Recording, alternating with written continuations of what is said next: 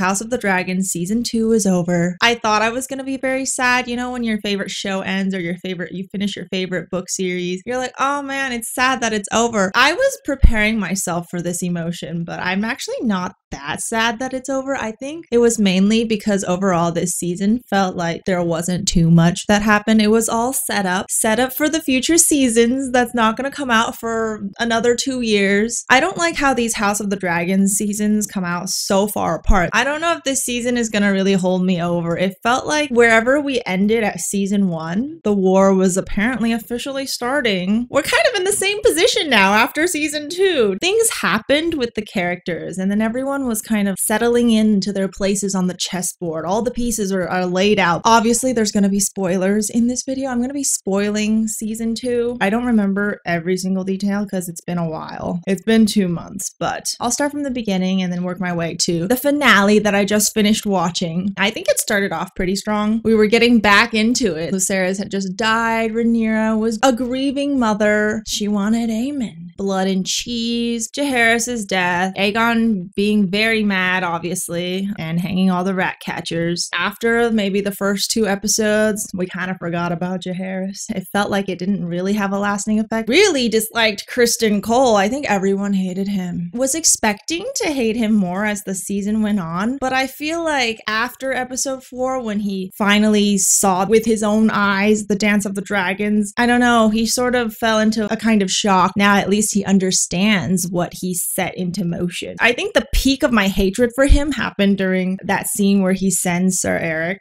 to assassinate Rhaenyra by pretending to be his twin and causing that very sad duel and death of both of the twins. That was all Criston Cole. After the first half of this season, I feel like I just kind of forgot about him. I mean, I don't even remember what he was doing. He was marching, he was with Gwayne, Alicent's brother. They were doing stuff on the field. At first, I didn't like Aegon, but I think I felt kind of bad for him after what happened. Got rid of Otto Hightower and then made Criston Cole the hand. And then when Criston started scheming with Aemond behind Aegon's back, then everything kind of just went wrong for Aegon. I really did like Aemond in this season, though. He was like the Daemon of season two. Like Daemon was Daemon in season one. This season, I feel like Aemond sort of took that spotlight. And he was really just that character where you're like, he's evil, he's ruthless, but he knows how to get what he wants and he's not afraid to go after it. The way that he sort of got back at Aegon was very evil, but it was impressive. Like, especially that scene at the table at the council where he started speaking in High Valyrian. Audley Nongieri, Jumbie a very memorable scene. And then his mom, too, to being there and actually rubbing salt on a wound, which then caused him to make a reckless decision and fly into battle with Sunfyre inexperienced, unprepared. It was cool to see the dragons and their interactions with their riders. And I feel like they did a good job showing like sort of the emotions or the personalities of the dragons in little sub- subtle ways. But then obviously they did it right before the dance. And then it made me feel so bad for the dragons, especially I'm sure they don't want to fight each other. It's so painful to see them in pain. They're injured, they're in pain, and yet they still try to, their best to protect their riders. And I'm just like, oh my God, the dragons. The whole Aemond just knowing that he was gonna burn Aegon, seriously injure Aegon, or even like kill him, he still did it. So now you know. Now you know. Now we know Aemond's true intentions. He really is ruthless and he doesn't care. I feel like they tried to draw a lot of parallels between Daemon and Aemond, but at the end of the day, at least Daemon wouldn't have done what Aemond did in the same position because I feel like Daemon at least tries to support his family and is he has some boundaries. I feel like Aemond is just Aemond will do anything. And then the whole Meleys, ah, oh, Rhaenys dying. That was I'm really gonna miss Rhaenys. She was great in this season. She was like a guiding figure for Rhaenyra, really supporting her on the council. And obviously Meleys dying too. That was so that was sad, but at the same time, I'm like, really, did they really have to go that way? How did Vhagar just sneak up on them? That was so crazy. That was crazy. Vhagar is huge. How does she just pop out of nowhere and just it really does make you realize how wasteful this whole Targaryen civil war dance of the dragons is. I mean, we all know, okay, this is spoilers, but we all know that this causes the death of so many dragons. And I think this show is trying to make us feel like, you know, there's no choice. Like they have to fight because of these misunderstandings, this fight for power. I just feel very bad for the dragons. And then Corlys. I feel like they could have done a bit more with Corlys. He was kind of mad, kind of sad, kind of mad that Rhaenys died, obviously, but he didn't really do much beyond just grieve a bit. But I think it made him realize that now that he's lost so many of his family members, he's now kind of realizing that maybe his two bastard kids are the way to go because that's all he has left. And it really sets the stage for that. And I loved Baela's speech about Rhaenys, and that really was the deciding factor for Corlys to become Rhaenyra's hand. He even offered to pass down Driftmark to her, but she's like, I'm fire and blood. Driftmark belongs to Salt and Sea. Jacaerys was also a, more of a key figure in this now. Rhaenyra finally told him the Song of Ice and Fire. And it feels very special when they pass down this whole story. And it's like only Targaryen rulers know about this story. But I'm like, why do we have to keep this as a secret? Can't we just tell people? Because I feel like if it was a more well known, established thing, they wouldn't have all these misunderstandings, would they? I don't know. Rhaenyra literally just goes to King's Landing to secretly meet with Alicent. This is before the battle at Rook's Rest. This whole season, Rhaenyra is just sitting around trying to prevent the war. Okay, in the beginning, she's a grieving mother and she's not really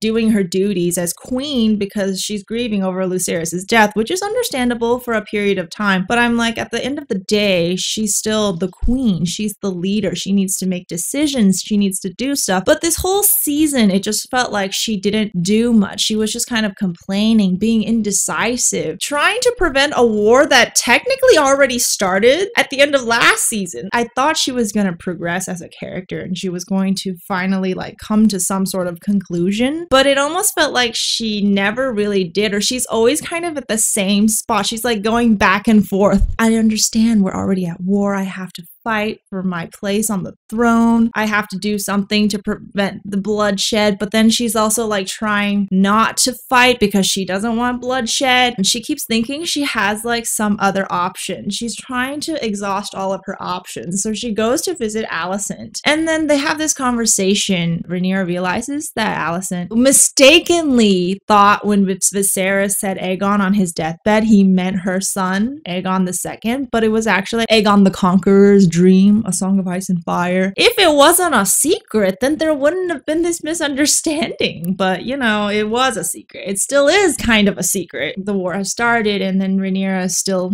trying to be like, can't we do something to prevent it now that you know that you misunderstood and Aegon is not supposed to be on the throne right now? And then Alicent's like, what do you want me to do? Like, there's nothing, it's already, it's already started. So yeah, and then she goes back and she's like, yep, okay, we can't, we can't prevent the war. Let's do something. So I thought they were going to do something. Rook's Rest happened, and I thought that was like, I thought we were going to go uphill from there, but then it kind of just plateaued again. And it plateaued for up until the very end. And Daemon, Daemon, this whole time, after he fights with Rhaenyra, after she's mad because he sent blood and cheese to kind of assassinate Aemond, but then they ended up killing Jaehaerys because they couldn't find Aemond, making her look bad because everyone thought she was the one that ordered the death. They get into a fight, and then Rhaenyra's like, You're never gonna accept me as your queen. And then he just goes to Harrenhal. And then he's just stuck at Harrenhal for like the rest of the season. He's just there and he's having all these random visions. Every episode, we see Daemon. He's like having a vision, sleepwalking, dreaming, getting poisoned by Alys Rivers. I don't know. I guess we learn about him. Okay. I guess the good thing is we kind of see his his inner thoughts and his regrets. We get to see young Rhaenyra from last season and Viserys that was all good, but then it keeps happening over and over. That one scene with his mother was a little bit unnecessary, I feel. I, I still don't understand why that needed to be there. He gave off very strong vibes that he was going to betray Rhaenyra and he was going to try to become king Dang it, Daemon, You were like my favorite character in season one. And this season, you're kind of just like, I don't know what you're off doing, but I hope you don't betray Rhaenyra. I just feel like, quite frankly, she is not really fit to be queen. Coming into the season, I was I was Team Black. I mean, I, I guess I still am Team Black. The show writers seem very Team Black bias. The more I watch them try to make Rhaenyra this sort of kind queen that doesn't want bloodshed, that cares about the small folk, because we see Aemond doesn't. He doesn't give a crap about the small folk. He's just like, I'm feeding my dragon, I'm winning this war. The small folk, you guys can deal with your own problems. Don't come to me, even though I'm your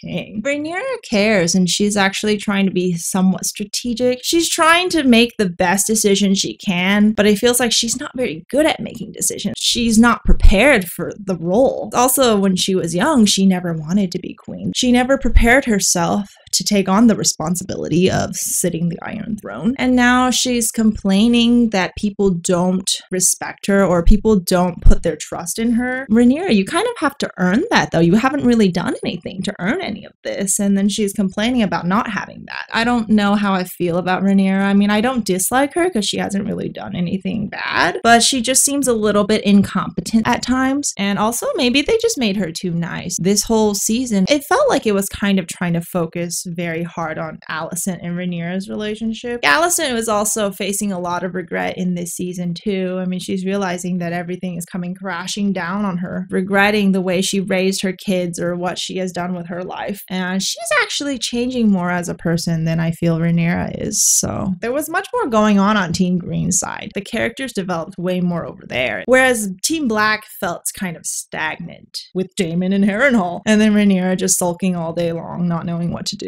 Episode seven with the dragon seed. It was kind of interesting to see. It felt kind of like it happened quite fast when they just gathered all the bastards. They invited all the bastards from King's Landing to come to Dragonstone. Rhaenyra just puts them before Vermithor. A lot of them just die. All of these new dragon riders were always on Team Black. Like they were always loyal to Rhaenyra. I feel like things could have gotten messy if some of them were actually on Team Green. Like that would have been interesting. Now Rhaenyra has seven dragons, depending on Daemon. Okay, well, now we know. Now we know by the end that Daemon is still loyal to Rhaenyra. After all that stumbling around in Harrenhal, he finally touches the weirwood tree and then has this whole vision, this whole vision of this entire timeline, the distant future. We see scenes from Game of Thrones, the Night King, the Night King in which Arya was like, I feel like maybe I shouldn't have watched Game of Thrones before this. I feel like I would have been more hyped about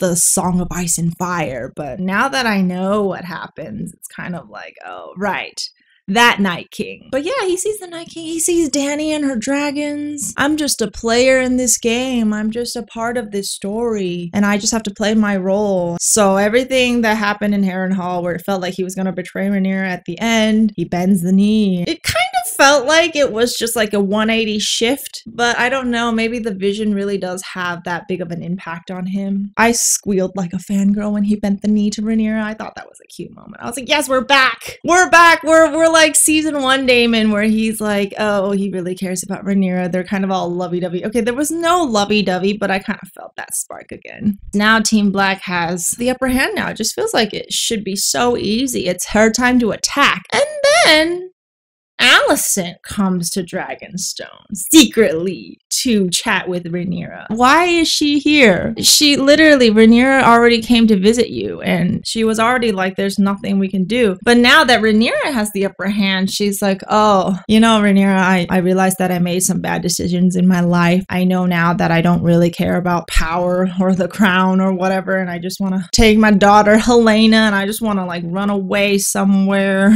Actually, I don't, I don't know what she says, but I'm just like, dang girl, what are you doing? What do you expect Rhaenyra to do at this point? It was just a really weird, it was a really weird scene. And then Rhaenyra is like, you know, son for a son, I have to kill Aegon. I have to kill Aegon. And then Alicent sort of kind of agrees to it. I guess she's also probably thinking in the back of subconsciously thinking, you know, Aegon's already crippled. He's like begging for death. He's in so much pain. He's been begging for death. You might as well put him out of his misery. If that ends the fighting, then yeah, it's a good, it's a good trade-off. off. I mean, I don't know why they called it a son for a son because I'm like, that was the first episode, and we already Jaehaerys already died over that. So I'm like, did his death mean nothing? I guess. I guess it's a grandson, but still. I don't think that part was written out very well. It didn't make too much sense. It just felt like maybe they were just throwing in there to catch us all off guard. While Danny kind of forgot about the Iron Fleet. I thought they were going to end on a really cliffhangery bang, just like season one with Lucerys. It sets up a lot for season three, but it's weird to have a show just be fully set up. And then there's also a season four, so I'm like, it's gonna be weird if season three is also another setup season. I wait two years for another setup season. I'm assuming stuff will happen, at least at Harrenhal next season. But yeah, anyways, that's all I had to say about House of the Dragon season two. I liked it still. I don't know if I just like it because I'm biased and I'm like, I like House of the Dragon. I don't know. I don't really care what they do. I'm just gonna watch it.